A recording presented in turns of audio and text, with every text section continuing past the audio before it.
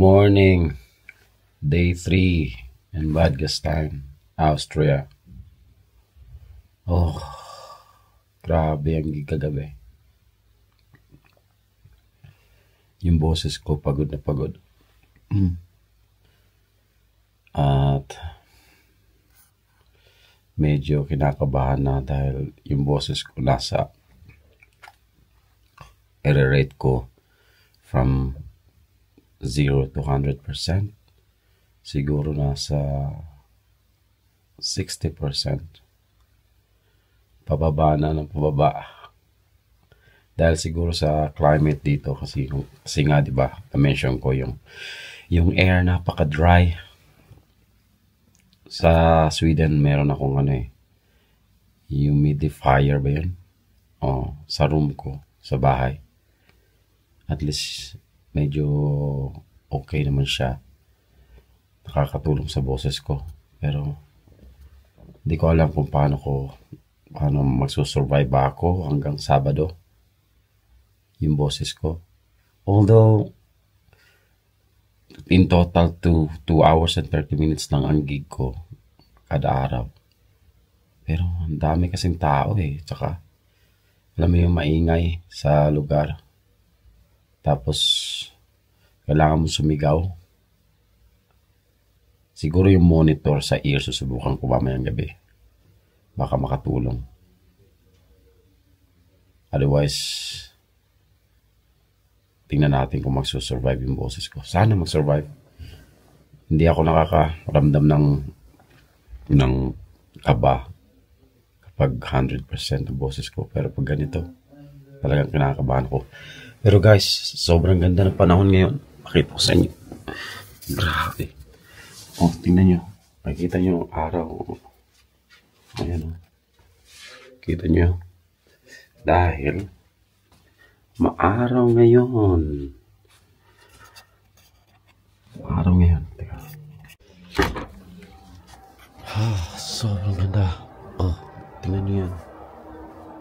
Clear sky. Clear sky, brother. Oh, yun. Tingnan mo. Parang may maliit na clouds doon.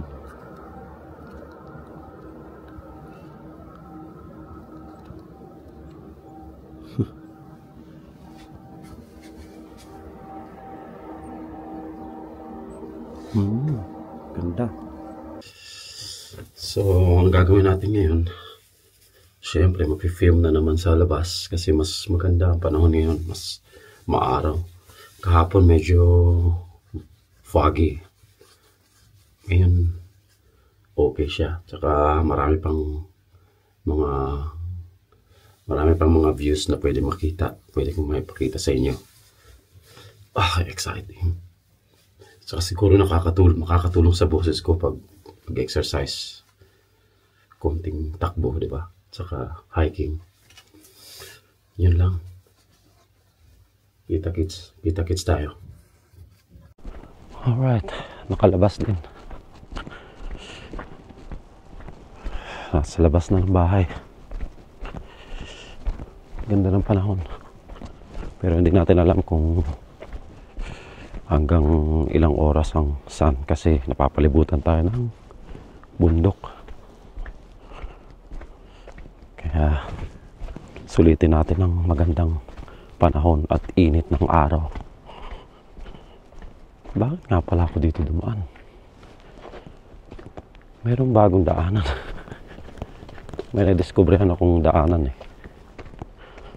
Kaya doon tayo daan. May konting snow pero ang gandang panahon.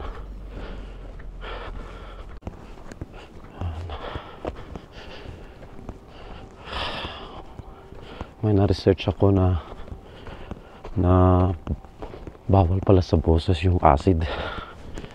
E, bumili ako ng orange kahapon. Sayang hindi ko magagamit hindi ko makakain. Dahil masama sa boses. Lalo na sa hoarseness. Kailangan i-avoid ko yung acid. Hmm. Hmm.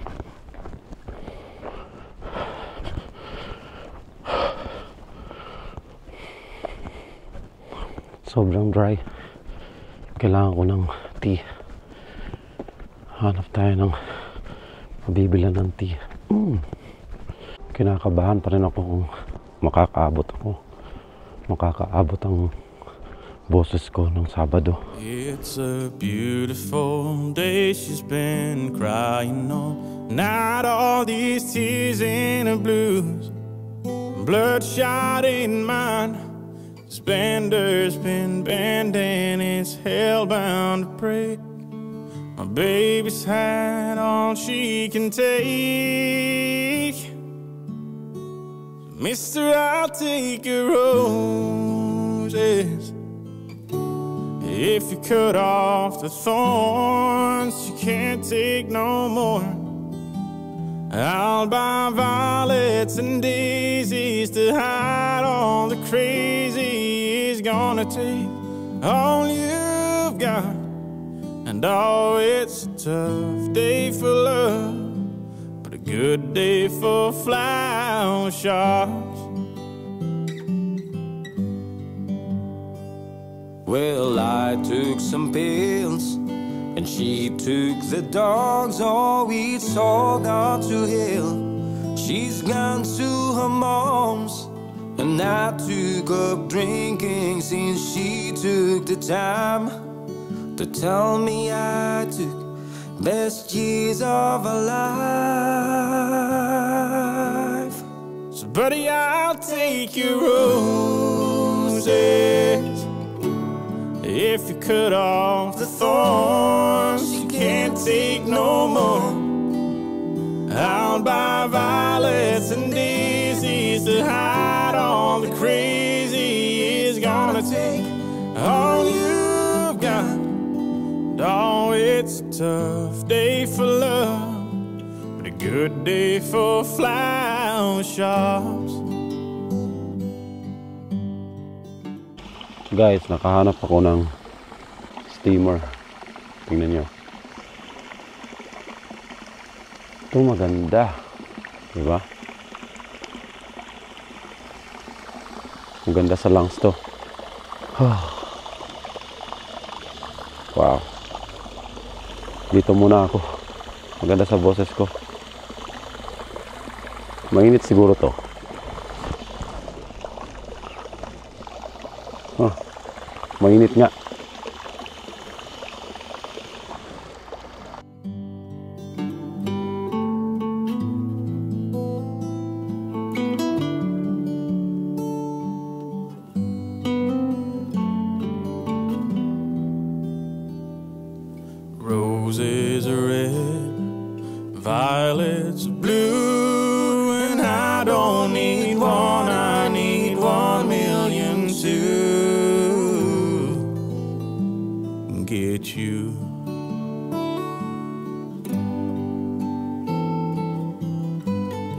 Mister, I'll take your roses. If you cut off the thorns, you can't take no more. I'll buy violets and daisies to get back my baby. It's gonna take all you've got. And oh, it's a bad day for love, but a good day for flower shops.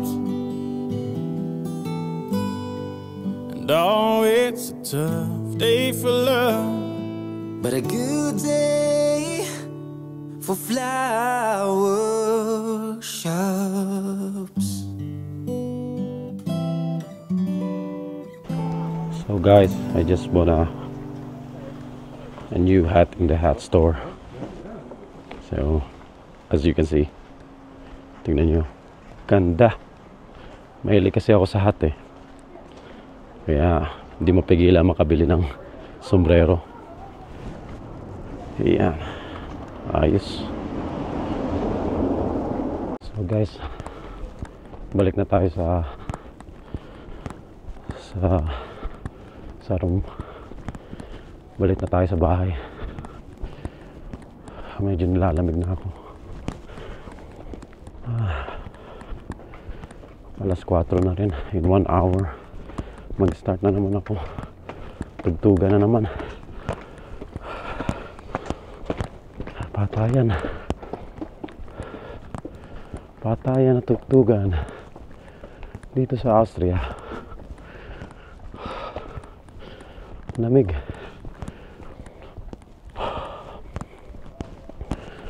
Ganda ng mga tanawin dito, no? Mas, mas malinaw. Saan ba tayo? Kalimutan. Kalimutan ko saan ako dadaan. Bahala na. Hmm.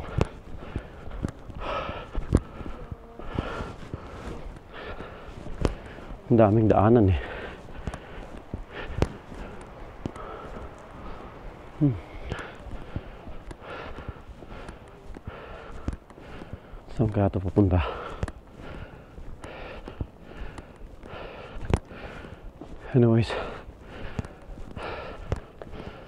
sana nagustuhan yung mga tanawin.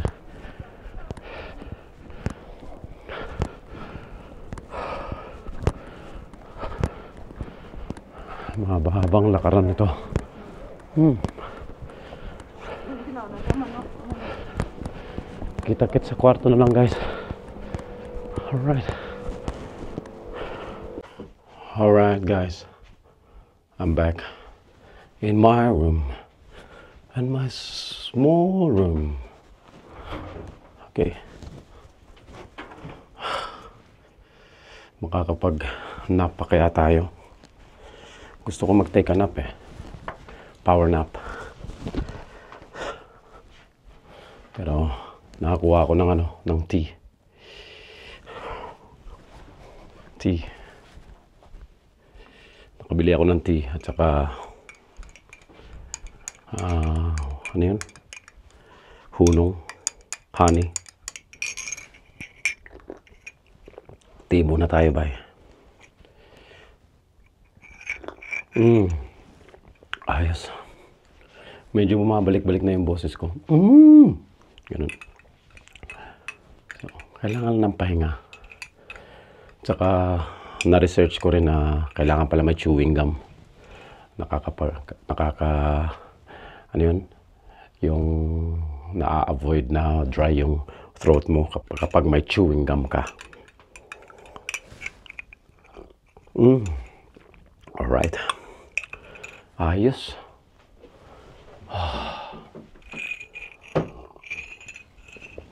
Yung gulo ng kama. Daming labahan.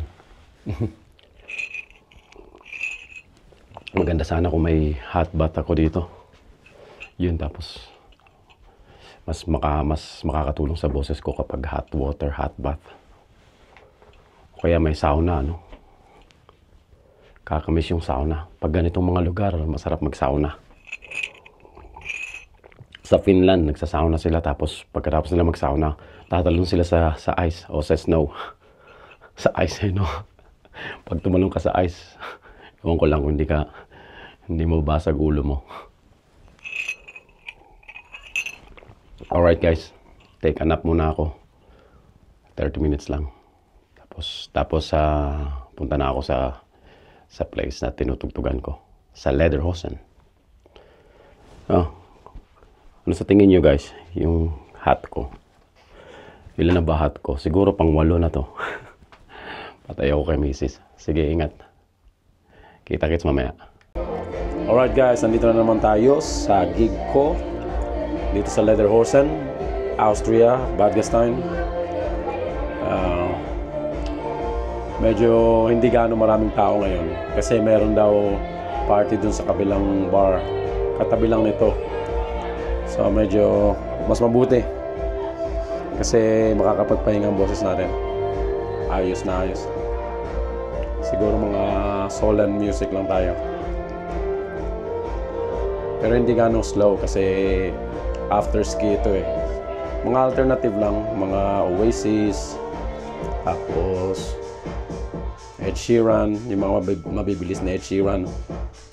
Tapos, ano pa? Kings of Leon. Yan, mga ganun lang. Alright. I just love